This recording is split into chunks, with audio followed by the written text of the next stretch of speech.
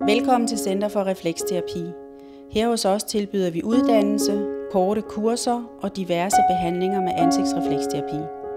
Dette inkluderer klientpsykologi til dig, der ønsker yderligere redskaber til brug i egen klinik, kortere kurser såsom detox til dig, der tænker på at blive gravid, infertilitetsprogram, hvis du stadig efter detox ikke er blevet gravid, mor- og babykursus beregnet til små hjemmebehandlinger til mor og baby straks efter fødslen, og hjemmetræningsprogram til familier med børn med særlige behov og mindre dysfunktioner.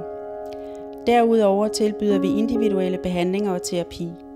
For yderligere oplysninger gå ind på Center for Refleksterapi.